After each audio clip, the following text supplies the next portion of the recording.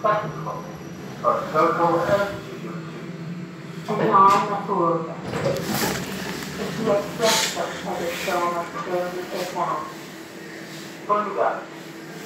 degli